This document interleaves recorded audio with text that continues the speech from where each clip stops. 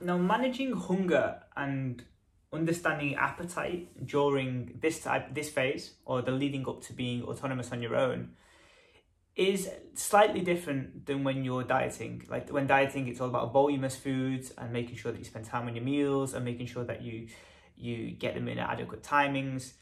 And whilst that's great, that's for a specific purpose. We're looking at something that will last you the next 30, 40 years of your life. And this could be more difficult than just, you know, hitting voluminous foods and uh, making sure that you chew food over a period of time you know, you're not going to want to completely track every single thing. It'll become massively overwhelming. You're not going to want to um, have a specific portioned plate as every single meal or understand um, how many calories are in that specific thing or all of this type of stuff. It would be quite overwhelming for a long period of time and for, for the next 20, 30 years of your life. What you need to do is something that will, will have been lost in that whole pursuit of dieting and yo-yo dieting and you know never really having a, a specific intake to maintenance and always either going super high in surpluses or having really high amounts of calories uh, and then you know having low calories and being on a super restrictive diet you have an appetite.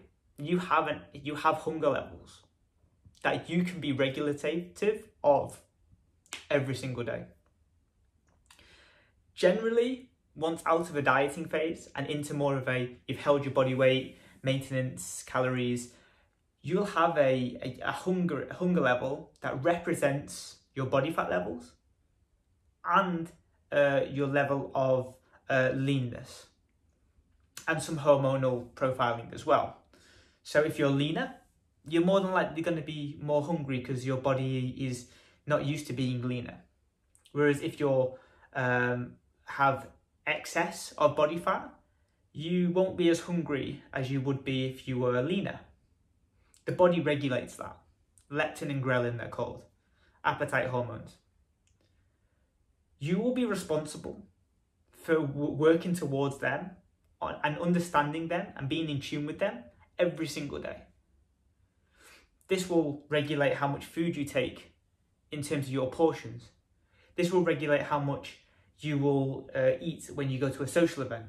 This will regulate how much you have for breakfast or whether you leave food on a plate or you ask for seconds. And this is much more difficult because you have to understand the role of things like sleep.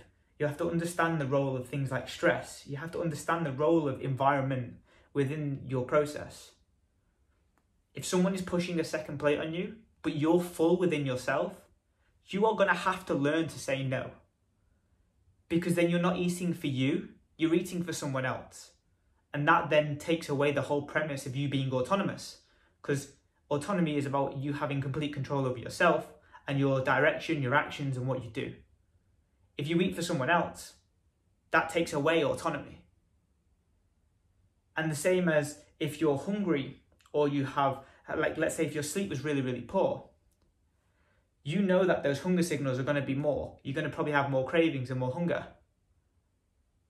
But you need to be able to regulate those and have that autonomy to know and that control to know that, okay, my sleep was poor last night. I'm probably going to feel a little bit more hungry today. So then you regulate your meals. You eat slower. You see if it really is more hunger or it's just that sleep that's that's messing up your your signaling. And you stick to the same way that you've been eating with your your knife and fork going down every single time and you're chewing uh, as many times as you can uh, of each bite. And then you regulate it that way. But this can almost be as hard as or even harder than dieting because the, the freedom is yours but also the self-discipline is yours. You're going to have to say no to yourself. And if you've had a coach and you've done the dieting phase and you've done the maintenance phase you've been accountable to someone else and you've been um, you know, willing to take some direction from someone else. But in this phase, when you're leading towards autonomy and you, you're gaining that autonomy, you have to have that self discipline of yourself. To, to connect this and saying, I'm full, then saying, I'm full through here and through here, and then not having more just because you can, or having more just because it's on the table or, ha- or, or having more because someone said have more. You have to always think what what is the autonomy? What what is what do I have control of? And is it an external factor that's influencing me? Is it because it's on the table, or is it because it's another person, or what is my internal sides telling me to do? If they're telling me I'm hungry and I've done all of the principles that I would eat a normal meal with, have more food. Your body wants it. But if you're full on the inside and you truly utilize those steps, your goal is the self discipline side of things to say no. So this hunger can be uh, something that will often let people down because they don't get in tune with it and they don't regulate it to what the insides are saying as opposed to what their eyes are bigger than their belly was, is saying.